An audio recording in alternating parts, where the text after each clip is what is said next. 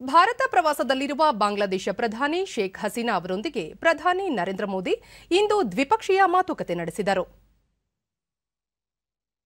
समय प्रतिपक्षीय सहयोग को बढ़ाने से जुड़े कई मुद्दों पर विचार विमर्श किया जा रहा है वार्ता दोनों देशों के बीच द्विपक्षीय संबंध पारस्परिक ऐतिहासिक संबंध जिन्हें बढ़ाने के लिए लगातार प्रयास किए गए हैं लगातार कदम उठ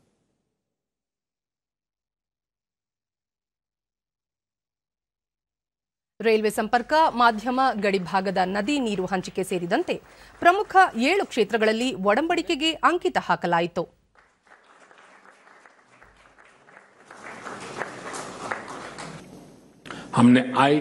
ಬಳಿಕ ಜಂಟಿ ಹೇಳಿಕೆಯಲ್ಲಿ ಪ್ರಧಾನಿ ನರೇಂದ್ರ ಮೋದಿ ಬಾಂಗ್ಲಾದೇಶ ಭಾರತದ ಅತಿದೊಡ್ಡ ವ್ಯಾಪಾರ ಮತ್ತು ಅಭಿವೃದ್ಧಿಯ ನಂಟನ್ನು ಹೊಂದಿರುವ ರಾಷ್ಟ್ರವಾಗಿದೆ.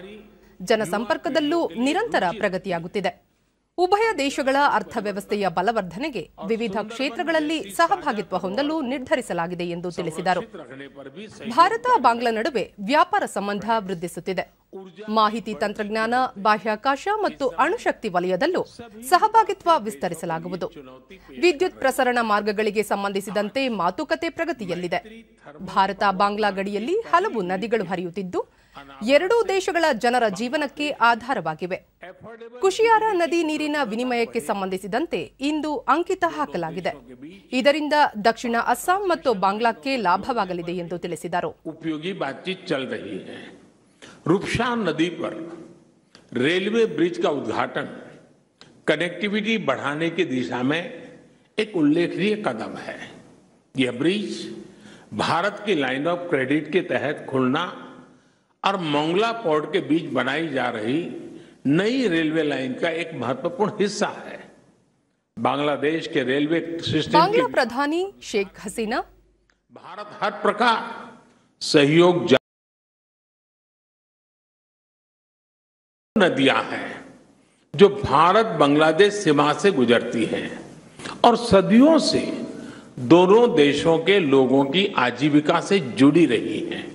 ये नदियाँ इनके बारे में लोक कहानियां लोकगीत हमारी साझा सांस्कृतिक विरासत के भी साक्षी रहे हैं आज हमने कुशियारा नदी से जल बंटवारे पर एक महत्वपूर्ण समझौते पर हस्ताक्षर किए हैं I shall confer ಬಾಂಗ್ಲಾ ಪ್ರಧಾನಿ ಶೇಖ್ ಹಸೀನಾ ಭಾರತ ಸ್ವಾತಂತ್ರ್ಯದ ಅಮೃತ ಮಹೋತ್ಸವ ಆಚರಿಸುತ್ತಿರುವುದಕ್ಕೆ ಅಭಿನಂದನೆ ಸಲ್ಲಿಸಿ ನರೇಂದ್ರ ಮೋದಿ ಅವರ ದೂರದೃಷ್ಟಿಯ ಫಲವಾಗಿ ಉಭಯ ರಾಷ್ಟ್ರಗಳ ನಡುವೆ ಸಹಕಾರ ಸಂಬಂಧ ನಿರಂತರವಾಗಿ ವೃದ್ಧಿಯಾಗುತ್ತಿದೆ.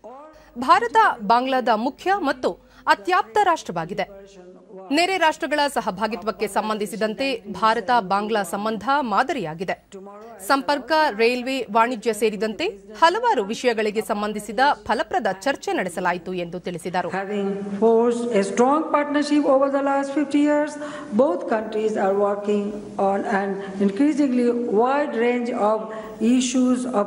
Mutual interest I and Prime Minister Modi ji agree to work together in the spirit of friendship and partnership for the prosperity and development of our two countries in the region.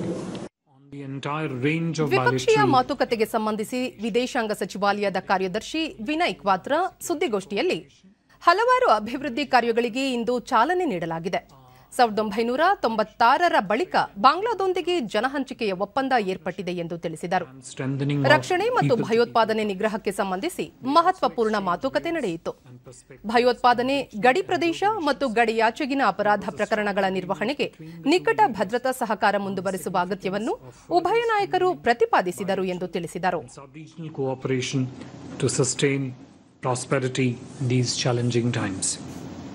Both leaders unveiled and inaugurated important development projects, including Unit 1 of our joint power Maitri power plant and Rupsha Bridge, and witnessed the exchange of seven MOUs in the areas of water resources, capacity building, railways, science and technology, and media.